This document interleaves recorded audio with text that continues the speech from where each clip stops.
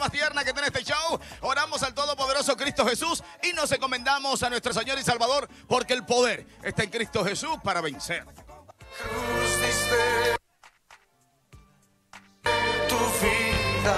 Gracias, gracias, gracias, Cristo Jesús, por tus maravillas y tu misericordia para con nosotros. Gracias, gracias. Pégate y gana con el Pachá. Para darte las gracias. Muchísimas gracias, Frederick Martínez. Bendiciones a todos los jóvenes que nos acompañan en este día. Quiero que reciban esta palabra de parte de Dios. Ustedes saben, los, de los cobardes no se ha escrito nada. Los cobardes son aquellas personas que permiten que sus miedos sean más grandes que su fe. En primera de Timoteo dice la palabra que no nos ha dado Dios un espíritu de cobardía, sino de poder, de amor y de dominio propio. Si tú tienes que levantarte a pesar de las aflicciones, tú no eres cobarde, tú eres valiente. Si tú predicas de Dios, si tú crees en Dios, a pesar de que hay tantas cosas en el mundo, tanta maldad, y tú sigues aferrado a Jesús, tú eres un valiente. Déjame decirte en esta hora que Jesús nunca se detuvo. Pero hay algo muy importante. En Deuteronomio 28 dice la palabra que cada vez que iban a la guerra, cada vez que iban a la batalla, aquellas personas que se querían rendir le daban la oportunidad de que se apartaran. ¿Sabes por qué? Porque tú tienes que saber de quién te rodeas. Hay personas que constantemente te recuerdan tu pasado, tus errores, tus pecados, las veces que tú has fallado, para que tú no creas en ti. Para tú creer en ti, empezar a caminar sobre lo que Dios ha dicho, necesariamente tienes que rodearte de personas correctas, de personas indicadas que te ayuden a creer en lo que Dios ha puesto en tu corazón, no en tus miedos, porque tú no necesitas eso. Así que ya sabes, crees en Jesús, camina en lo que Dios ha dicho y rodéate de las personas correctas. Amén. Eh, solamente el poder de Jesucristo me puede a mí dar fuerza en esta hora para yo hablar de mi Cristo. En, el libro de Mateo capítulo 5 versículo 6 dice, bienaventurados los que tienen hambre y sed de justicia, porque ellos serán saciados.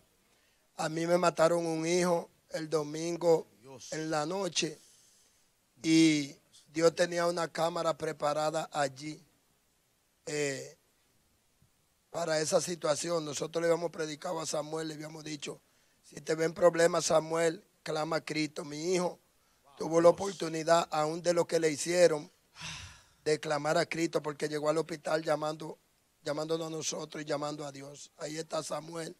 Las niñas no son de él, pero son su sobrina, pero tiene una mujer embarazada de cuatro meses. Mi hijo me lo asesinaron y los que estaban ahí se quedaron como nada. Ahí está.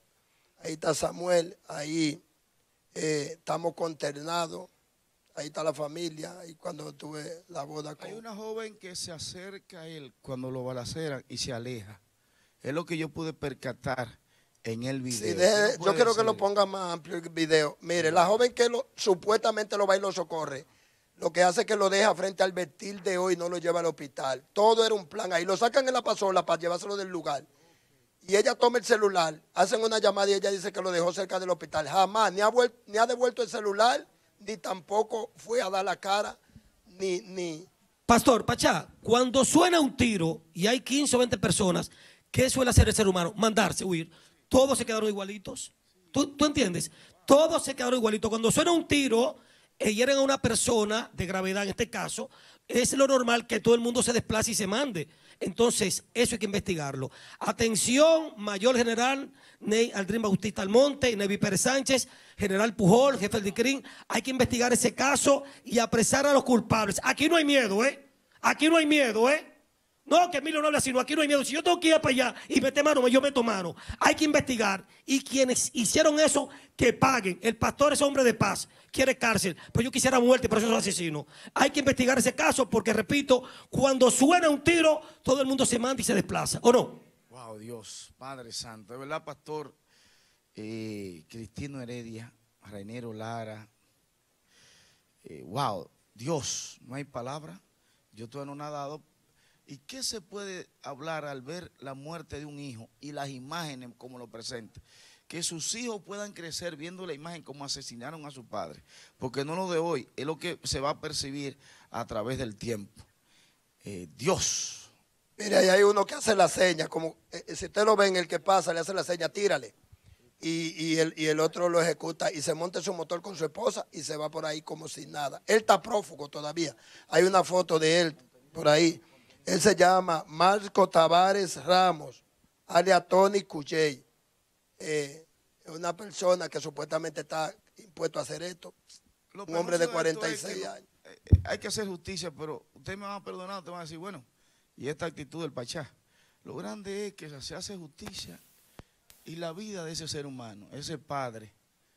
Yo he visto muchos padres y mucha gente y una embarazada de cuatro meses no le va a devolver la vida. Sí hay que hacer justicia, pero al final, Dios, Padre Santo Jehová, qué pena. Usted, yo soy un admirador de cada uno de ustedes cuatro, porque ustedes han sido apartados para Cristo.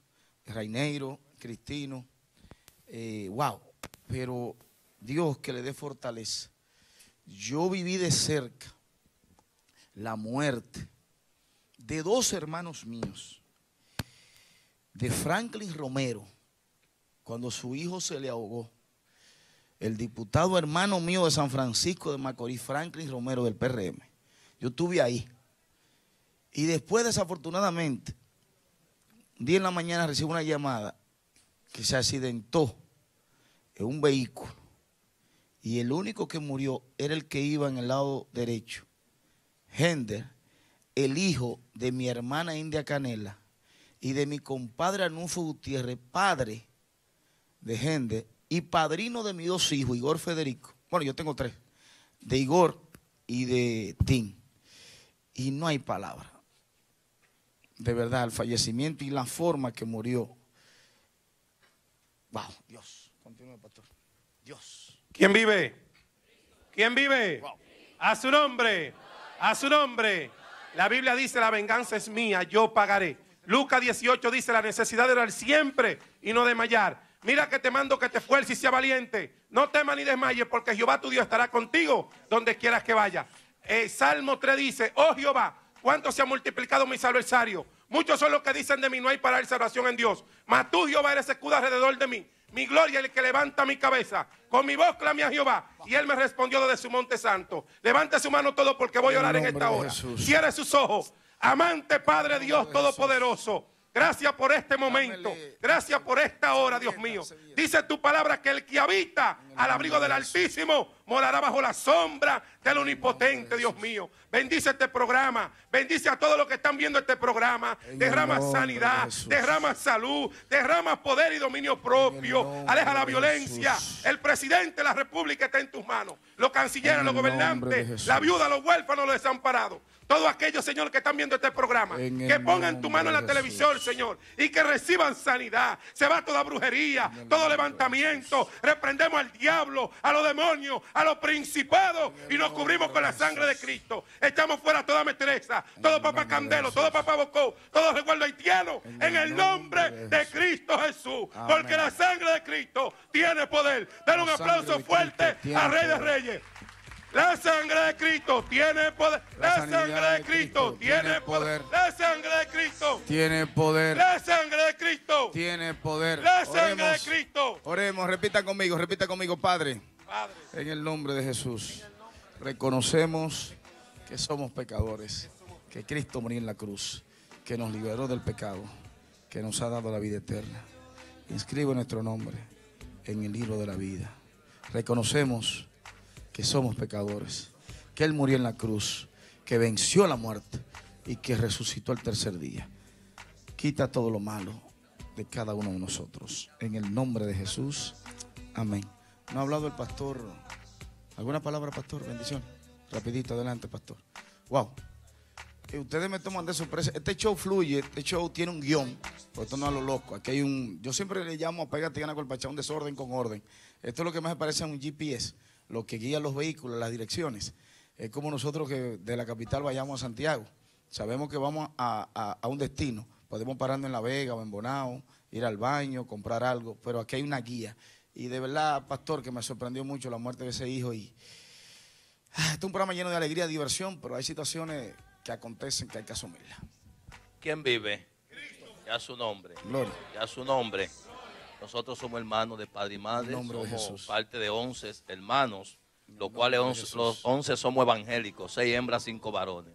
Nuestro papá y nuestra madre, Domingo Heredia, María Magdalena González, nos criaron bajando. Ah, perdón, discúlpeme. La madre del niño que quiere decir algo. Eh, bendiciones. Adelante, hermana, le escuchamos. Adelante.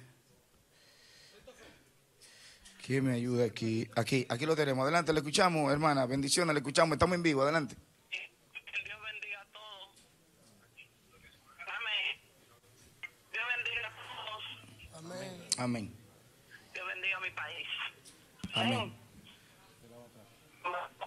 A mi esposo ahora al televisor para que aquí que en este momento estoy mirando estoy mirando y yo lo que pido es que todos los implicados salgan a la luz porque hay muchos cuentos y muchas visiones pero yo necesito que todos los que están ahí sean